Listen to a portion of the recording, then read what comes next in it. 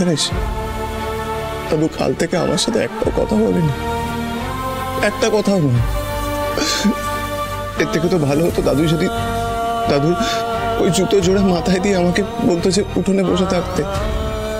আমি এত কম কষ্ট পেতাম। আমার ভালো লাগছে না রে কিছু। তুই বল না। দাদু নিজে বলল যে সব নিয়ম নীতি পালন করতে।